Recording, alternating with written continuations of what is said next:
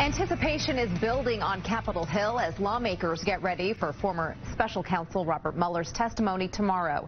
Here to talk about this is Travis County GOP Chairman Matt Mackowiak and Abhi Rahman with the Texas Democratic Party. Thank you both for being here. Thank you. Sure. Matt, President Trump says Mueller's testimony is just another chapter in what he calls a partisan witch hunt. What are your thoughts on that?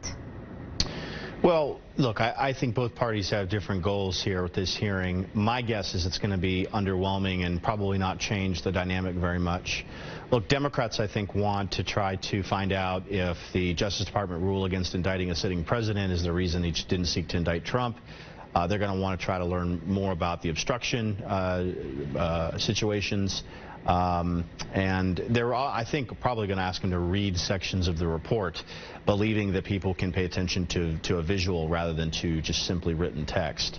Um, the Republicans, I think, are going to want to know, you know, when did Mueller know there was no criminal conspiracy with Russia? And if he knew that before the midterm election, you know, did he have a responsibility to let the voters know that. Uh, and then about the Steele dossier, which the Mueller report basically uh, proves is, is ridiculous and, and unverified. Uh, they're going to want to know when did he learn that and, and, and you know, what was involved in, in how that was, that was put together. Abhi, some Democrats insist the hearings aren't about impeachment or possible impeachment. What is the goal?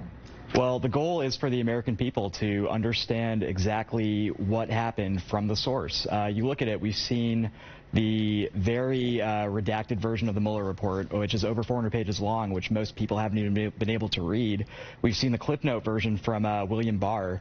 Uh, the only person we can trust on the Mueller report is Robert Mueller. And here's what I think you're going to see tomorrow. You're going to see uh, three major things. And number one is that the Trump administration, uh, Russia interfered on behalf of the Trump administration uh, in the 2016 election. Number two is that the Trump administration and Donald Trump especially invited that interference.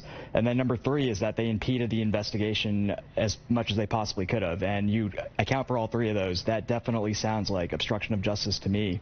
Um, and the fact of the matter is that the reason why Robert Mueller couldn't say that there was obstruction of justice is because he wasn't legally allowed to.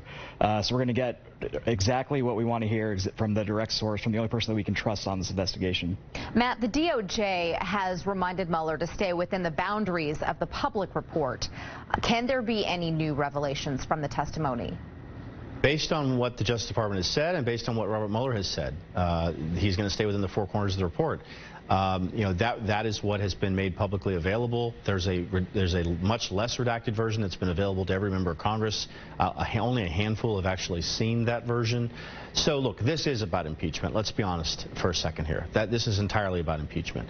Uh, Democrats don't want to accept the conclusions of the Mueller report uh, because it entirely uh, washed away the, the, the, conspiracy and collusion claims made against the Trump campaign as it relates to Russia. And yes, on the question of obstruction, uh, Mueller said he had evidence on both sides and that he couldn't come to a conclusion. And so ultimately it was the Attorney General, who is Mueller's boss, uh, is up to him to, to come to that conclusion. So I think the Democrats are going to try to use this to change public opinion and to move towards an impeachment inquiry. They're under tremendous pressure from their base to do that. We'll see if they do, but my guess is this is going to be an underwhelming hearing. All right, we're just about out of time. Abhi, final thought.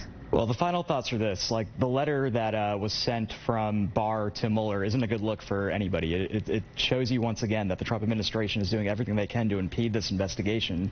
They're not letting uh, Robert Mueller have the freedom to basically say what he wants to say, which he's going to do anyways.